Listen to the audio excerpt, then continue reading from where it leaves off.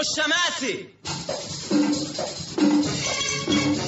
لا تذكر صناعة الشماسي إلا ويذكر معها أغنية العندليب الأسمر الشهيرة دق الشماسي فلا تكتمل رحلات الصيف على شواطئ البحر إلا بتلك المظلات البديعة التي تلون ذكريات أصحابها كما لونت صيف شواطئ مصر المختلفة.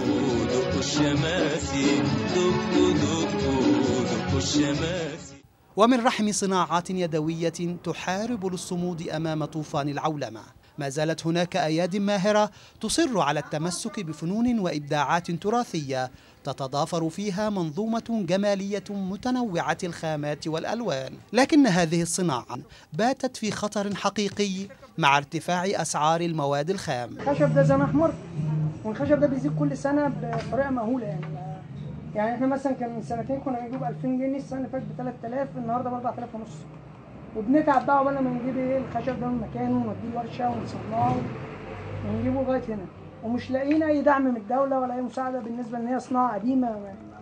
يعني صناعة ما يعني يعتبر مكسبها يعتبر هامش ربح بسيط يعني. وتمر هذه الصناعة بعدة مراحل. أولها تقطيع الأخشاب على أعواد وفقا لأطوال معينة.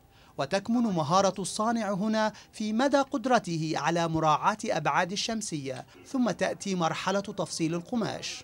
وكمعظم الحرف التي تفاعلت مع سنوات الزمن.